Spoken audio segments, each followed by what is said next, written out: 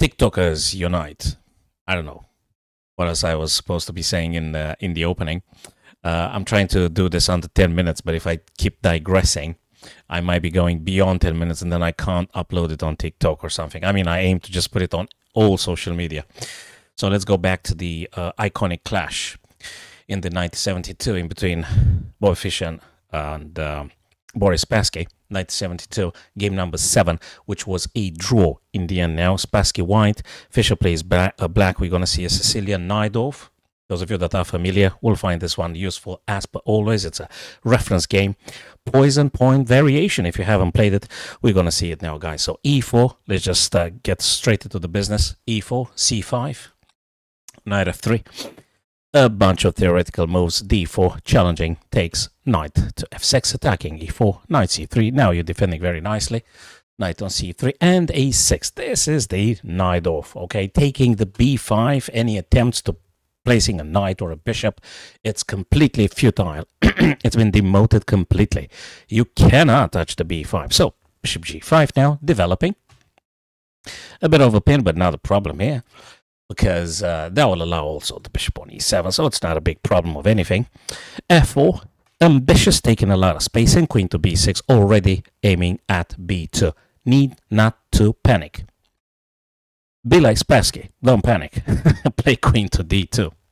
It doesn't matter if they take. You've got uh, two main ideas. You could either play like Boris Spassky, there's nothing wrong with that one, knight to b3. Or you could do the most common reply here, rook a to b to which queen is being forced into moving a3.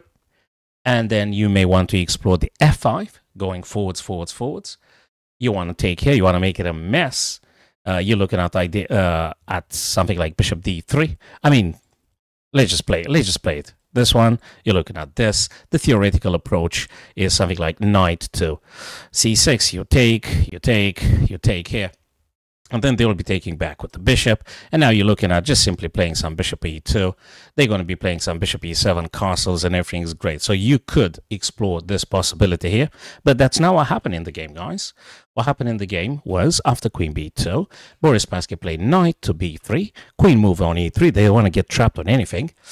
Bishop to d3 developing and actually preparing to castle the king and you know placing a rook on the f file potentially castles and h6 first, probing the bishop. Bishop to h4. You don't want to lose that guy, don't you? Now he takes now the second pawn. He take uh, he takes the second pawn from Boris Spassky. Now he takes, and bishop takes here. He played f5. But let me tell you something cool. If you ever have this position with white, you may want to explore the very subtle bishop b5. That is so, so, so, so sweet. And now if you're telling, yeah, but they're going to take my bishop, right? They might take it or not. But if they do take, you have the knight e6 defended by the queen. So the queen, the black queen can't take it. And you're checking the king. If the king moves away, you're going to grab the bishop here. If the king plays here, you, then you're going to take here on b5. And black has to play very carefully this idea. Very, very, very carefully. First, the knight attacks the queen. Now mentioning you already have a sort of collaboration here with the knight and the queen. So the queen has to go. Also need to move out of check and potentially defending the d6. Yes, of course, there is the queen on e6, you know, but you also have the queen b4. So it's getting very sharp, very nice and sweet. And you may want to explore this stuff, okay? But black has to be very careful here. And uh, white has the secret weapon up their sleeves. So, um, yeah.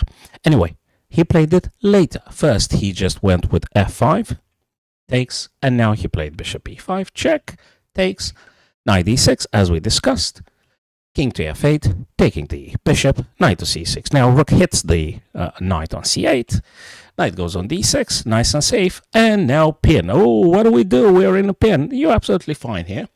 You could... Uh, diminish, compensate a little bit from the uh, pawns that you've lost, and now take something with tempo, hitting the black queen, knight to b5, if rook takes your queen, the white knight takes the black queen. So queen goes away. Now, you're not going to lose your queen, don't you? So queen to f5. Okay, rook hits the queen. You got to move the queen away. Go to f5 very nicely. And f5 is under threat. g6. And now you push. He pushed. He pushed a4. Bishop attacks the queen with tempo. You have to move it. Queen to c4. Bishop checks. Moves away. Coming down. And now, very nice and very sweet now, Boris Spassky plays g3. They try to dismantle the structure here and reinforced by Fischer with g5. Rook a to e1 places the bishop in a pin. Queen go. Now he goes for the he goes for the uh, for the trade here. He goes for the trade. Probably he was thinking that just getting the knight with tempo, hitting the c2 implicitly the e1. Well, Spassky just acquiesced. Knight b4. So rook to e2 because you want to defend the c2, right? You don't want to lose that pawn unnecessarily. Very big danger there. Knight to a5, aiming the b7. We've highlighted here. Aiming at the pawn. Going forward. Now you can take empty space if you want. Knight goes back, attacking the e3, pretty much like once and twice. So black has to be very careful about that uh, situation. So knight now defends twice. Pay attention, guys, on uh, the this perpetual dance of attackers and defenders. Always count the attackers and defenders. So that's a very valuable lesson. Okay, so now knight now plays nicely on d6. I would uh, reckon actually the intention would be to go on f5, checking and having a third attacker on e3. Obviously, Bob is not going to fall for that. Uh, bishop to c5. Now he attacks on d6 twice. He, oopsie, bishop and the rook and only one defender, so you got to do something. Knight to b7, attacking the rook. Rook goes on c5. c4, hitting the black knight now. Look how nicely they're creating threats after threats after threats. Knight goes on e3, but not just going on e3. Also, the rook on f1 is being attacked here, my chess friends. Rook to f3. The danger for black is, again, uh, take, take, take. So you got to be careful about this guy here. Takes on c4, though. Takes a pawn.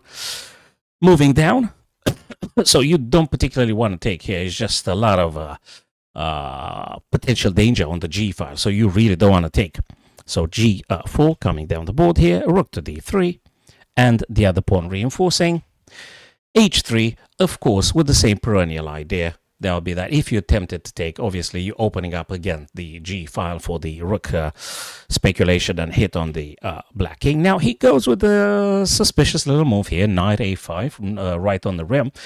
Um, the idea I suspect was just to deflecting the knight away from guarding to d8 so that he could just potentially get some rooks here and counteract the white rooks. Uh, but now he just found a resource here. He played just knight d6, therefore making this guy just keep staying idle on the rim there. So knight to d6, that's what he chose to play. Bishop takes and knight takes. And check. King to g2. Knight comes closer knight to uh, e8, checking the king.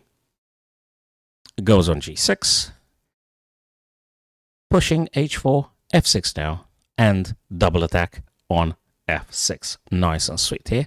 Check first, moving again, king attacks the rook. And you might be tempted not to say, oh, I have to move the rook. I have to move the rook. Also, there, there is also something very, very resourceful and very nice and very creative here. Knight g7. Of course, Boris Spassky saw that before checking the king and providing defense for the rook. Takes check, though. And, and that's also very, very, very important. You got to be very careful. Don't get yourself lost in all sorts of uh, uh, potential uh, uh, plans because you always have to stay in touch with the reality of the position here. We got to be very careful about the checkmate because the kings are in opposition. And actually, if you don't pay attention, if you don't move out of the opposition or check the king straight away, you're going to have a big problem here and getting just checkmated. So knight f5, right, right, when it was very much needed to. And now the rook comes on e4. A lot of pressure on the black king. So black king really, they got to play this one super, super carefully. And it's incredibly dangerous. You can't afford any tempo being wasted here. So now uh, Bobby Fischer goes for a perpetual check because uh, anything else is highly, highly, highly risky here. It's, it's, it's, it's super big problem. You got to be very careful. So, and also there's not too much you could do. So he just simply was very happy in this position playing with black uh, to just draw right at this stage. So he just continued one more time and the game had been adjudicated. I'm recording guys as a, I am recording please, as a draw. Someone just came into the room right at the very end. Okay, we'll continue guys shortly with uh, some other chess content. Thank you very much for watching this. Subscribe to this channel, follow me on the uh, live streams and uh, more stuff to come very soon. Thank you very much for watching.